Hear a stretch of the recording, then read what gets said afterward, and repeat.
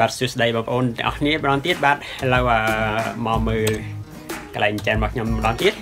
ហើយថ្ងៃនេះគឺរុយច្រើនមែនទែនគេសក់ច្រើនណាស់ហើយខ្ញុំនឹងបង្ហាញបងប្អូនអំពីរុយដែលវាដល់ពូជហ្នឹងហើយវាពងនៃណាណីបាទអញ្ចឹងយើងមើលតាក់ទងទៅនឹង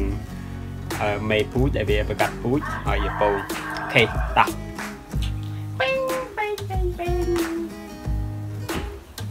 ហ្នឹង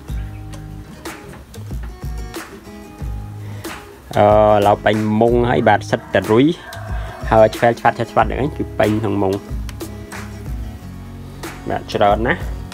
ឥឡូវมันអាចចូលទៅក្នុងមុងបានទេព្រោះអីវានៅពេញការ៉ាលពេញក្តារពេញអីហ្នឹងឯងទាំងអស់បាទជុំវិញពិភពពិភពមុងបាទចឹងឥឡូវវាកំពុងតែហើឆ្វែថតភាកច្រើននៅពេលដែលវាហើបែបហ្នឹងមានន័យថាវានឹងកំពុងតែ រោដៃគូបន្តពូជបាទគេវាត្រូវហើស្វែងរកហ្នឹងឯង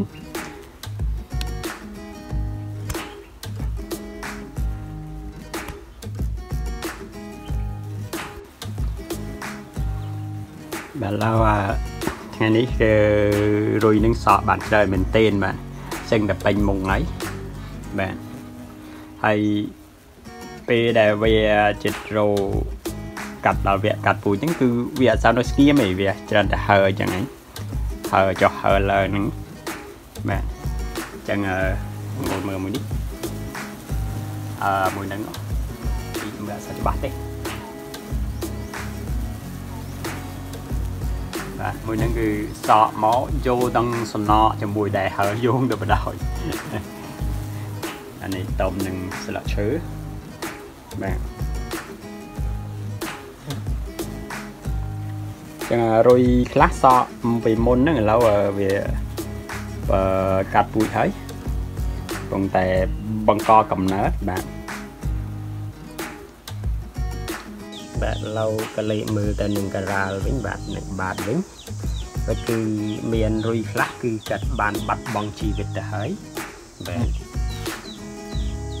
ព្រោះថារុយហ្នឹងគឺពេលដែលវាសក់អញ្ចឹងវាអាចរស់នៅបានរយៈពេលយូរអូលឿនទេបាទគឺពី5ពី4ទៅ6ទៅ7ថ្ងៃនឹង8យើងនិយាយទៅថាមួយអាទិត្យចុះបាទតែមួយអាទិត្យហ្នឹងឯងហើយមុននឹងវាស្លាប់វាត្រូវបន្តពូជសិនបាទតពូជវាតពូជហើយបាទមានអីធ្វើទៀតមានតែស្លាប់ទៅវិញម្ដងបាទអញ្ចឹងគេស្លាប់វិញអស់ច្រើនដែរបាទហើយរុយហ្នឹងគឺរុយមេធំជាងរុយឈ្មោល បាទចំណែករុយឈ្មោលតូចតូចទេ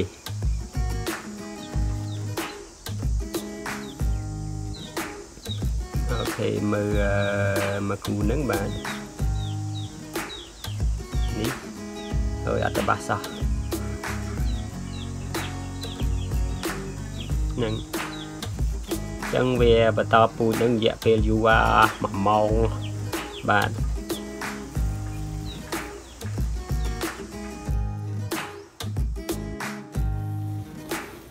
ខ្ញុំបាញ់ទឹកបាទ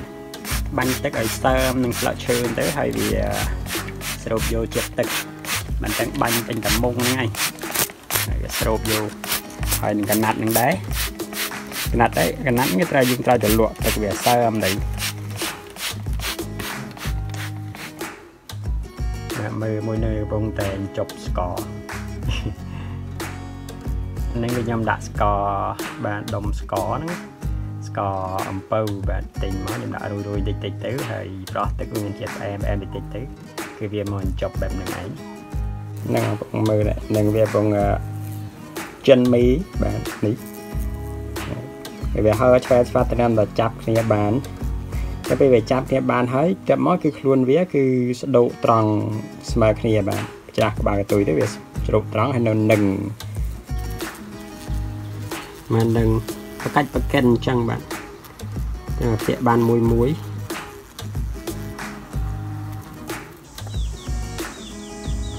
នឹងគឺកំពុងតែពងហើយ